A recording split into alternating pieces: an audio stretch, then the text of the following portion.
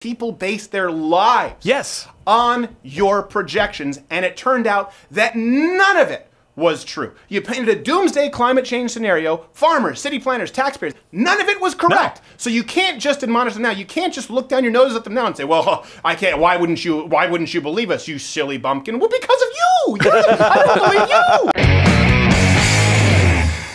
Question of the day: Was there an exact? Can you pinpoint an exact moment when you started sort of tuning out uh, the progressive left's climate change alarmism, or was it more of a gradual thing? Now, for, Yeah. comment below. I do want to hear from you guys. Now, first off, let me preface this. Of course, I am n- in no way a climate change scientist expert, nor do I claim to be. That being said, neither are most of you. Yeah. Okay, and this is something that I would like to cover because uh, it affects real people's lives. And I think a big reason why fewer people believe in climate change than before is because the media and the left today, uh, regard, let's let's ignore the let's ignore the science for a second. Put on the shelf for a second. That's going to be a soundbite. Ignore Yeah. this. I'm not saying ignore no, no, the just science. for a Let's Put on minute. the shelf for a second. Just a sec. The media completely berates and mocks Americans who don't believe specifically in their current man-made climate change predictions. Here you go. So when it comes to deniers, I claim they're a problem. When Bill President the Kennedy sets major. us on a, uh, set us on a course for the moon, there were a number of people who made a serious case that it wouldn't be worth it. It was going to be too expensive. It was going to be too hard. It would take too long.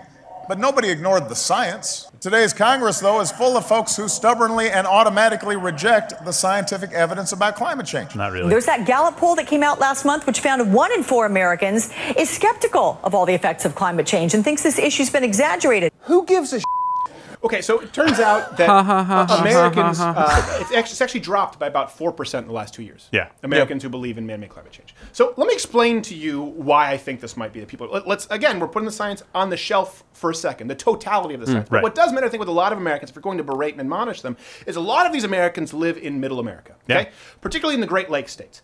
And this is something I lived through this. I'm from Michigan the alarmism at that point, people were scared to high heaven by the climate change progressive left Yeah. that the lakes were going to dry up very quickly.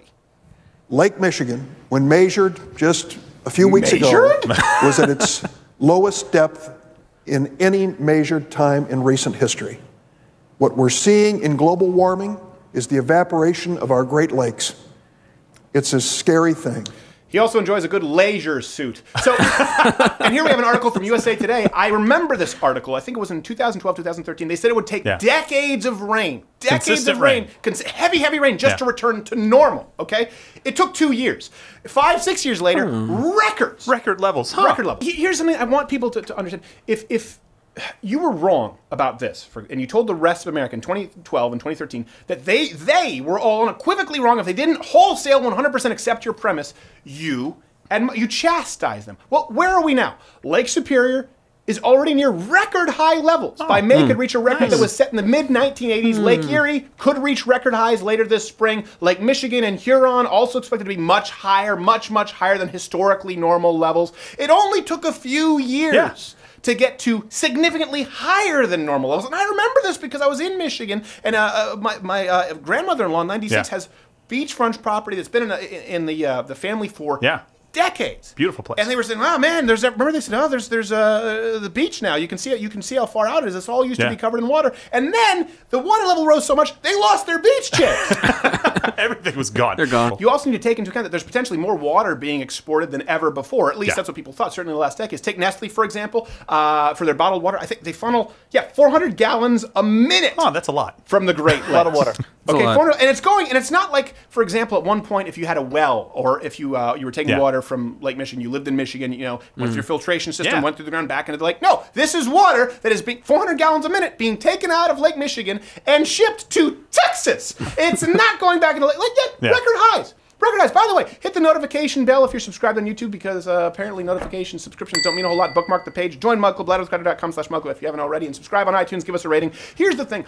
Um, Americans who believed you, uh, and of course the people who you didn't, those are the select few you didn't admonish. Yeah. Their economies largely revolve around the Great. Lakes. This is what's so It's when you say levels will undeniably continue, and I'm just trying to present you with hopefully a little bit of understanding here. When you say levels will undeniably, undoubtedly continue to descend to record low levels due to climate change and exclusively climate change, they have to plan their seasons for things like more Yeah. erosion, less underpass room for waterway bridges. They have to plan um, extensive dredging of harbors. City engineering comes into play. Not to mention the private businesses. They have to adjust their business models based on your projections of shorefront, water cleanliness, all of that. The same can be said, by the way, for climate change alarmists on farming and the crop yields in the Great Lakes area, which have had some record great yields as well. They should have just been honest from the very beginning and take, taken the cautious approach and said, hey, something is happening. We do have record low levels right now. We need to figure this out and we need to be cautious.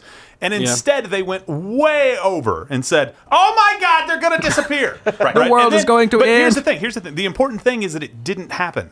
It didn't happen. We're at And it this doesn't now- mean, and I get it, doesn't mean that all climate science is bunk. No. That's not what I'm saying. No. But what it, what you do need to take into account here is that people base their lives Yes. on your projections, and it turned out that none of it was true. You painted a doomsday climate change scenario. Farmers, city planners, taxpayers, they believe none of it was correct. So you can't just admonish them now. You can't just look down your nose at them now and say, "Well, I can't. Why wouldn't you? Why wouldn't you believe us, you silly bumpkin?" Well, because of you. You're the- I don't believe you. You lied last time. You don't believe science? again. No, no, not This is like the science, Fyre Festival Just all over you. again. Yeah, this is the Fry Fest. This is Fry Fest too. I mean, like, I, Fire- I, Fire I, Fest. I Fire believe Fest. science. I don't believe politicians because I mean, what what exactly has the left not tried to claim is because of climate change?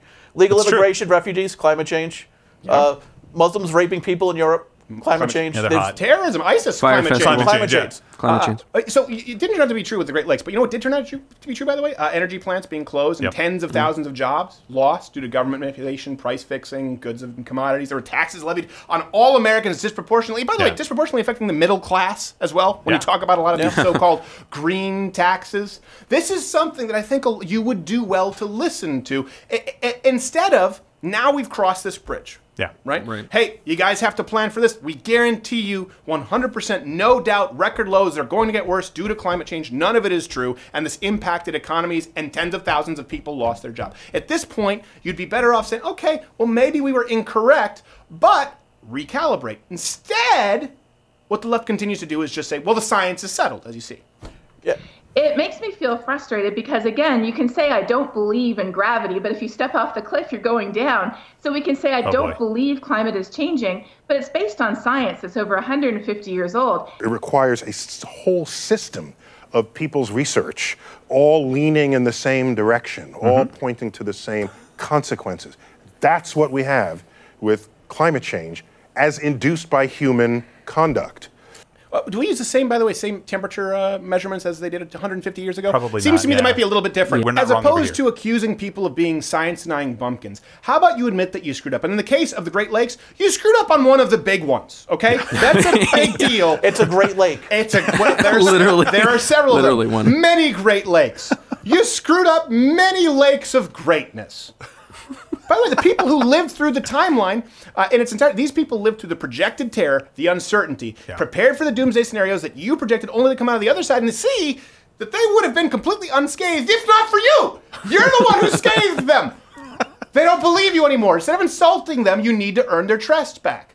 And I know many of you in the climate, uh, climate change alarmism camp uh, claim that it's not your job to convince anyone because of uh, scientific consensus.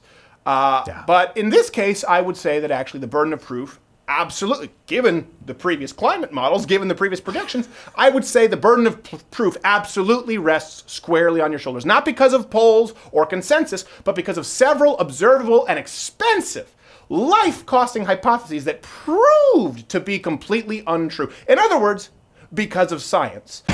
Okay, if you like this video, you know, you watch videos on YouTube. If I were Jimmy Kimmel, if I were Stephen Colbert or Trevor Noah, I would tell you to subscribe.